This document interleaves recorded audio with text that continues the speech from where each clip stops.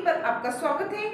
मैं प्रिया, आपके साथ। आंध्र प्रदेश के पूर्व मुख्यमंत्री जगन मोहन रेड्डी की पार्टी का निर्माणाधीन ऑफ़िस राज्य सरकार ने बुलडोजर से गिरा दिया। शनिवार सुबह साढ़े पाँच बजे ये कार्रवाई आंध्र प्रदेश राजधानी क्षेत्र विकास प्राधिकरण ने की।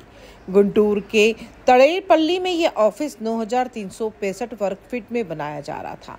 इस कार्रवाई की टाइमिंग की खूब चर्चा हो रही है। दरअसल सितंबर 2023 में जब YSRCP की सरकार थी और जगन मोहन रेड्डी सीएम थे, तब टीडीपी चीफ चंद्रबाबू नायडू को सुबह छह बजे उनके घर से गिरफ़्तार किया गया था। सीआईडी ने भ्रष्टाचार के आरोप में चंद्रबाबू को अरेस्ट किया था।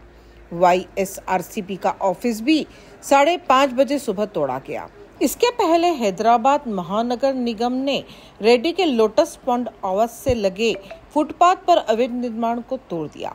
इसका उपयोग सुरक्षा कर्मी कर रहे थे। इसके अलावा Y S R C P को विशाखापट्टनम ऑफ़िस के अवैध निर्माण को लेकर एक और नोटिस मिला है। रेड्डी के आंध्र प्रदेश के मुख्यमंत्री पद से इस्तीफा देने के महज दस दिन बाद यह कार्रवाई की गई। इसी के साथ बने रहिए राजनामा टीवी के साथ। धन्यवाद।